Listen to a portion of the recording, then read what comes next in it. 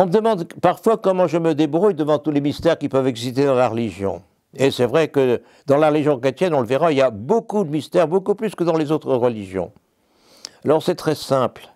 J'aide les élèves de primaire ou les élèves qui préparent euh, des grandes écoles à, faire ce raisonnement suivant. Tâchez de réfléchir à ce que c'est que, que votre esprit, qui est capable de comprendre actuellement ce que je dis, qui est capable de commander à votre corps, qui est capable d'avoir des sentiments. Qu'est-ce que c'est que cet esprit? Eh bien, vous voyez, il n'y a aucun savant qui sait ce que c'est que l'esprit humain.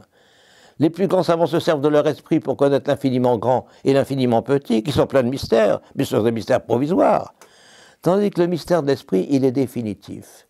Je sais, comme dirait Descartes, je ne peux pas douter d'être quelqu'un qui existe. Je peux douter de tout, mais alors, en doutant de tout, je me rends compte que je suis quelqu'un qui existe, mais qui je suis, je ne le sais pas. Donc si mon esprit n'est pas capable de comprendre mon esprit, il est normal que mon esprit ne soit pas capable de comprendre Dieu. L'existence de mystère en Dieu ne fait aucune difficulté intellectuelle. C'est d'ailleurs une question qu'on pose parfois au baccalauréat aux élèves de terminale. Est-il normal pour l'esprit d'accepter des choses qui dépassent l'intelligence humaine? Mais bien sûr, je ne comprends pas ce qu'est mon esprit, donc l'existence du mystère en Dieu ne fait aucune difficulté. Voilà une première question à laquelle j'ai répondu.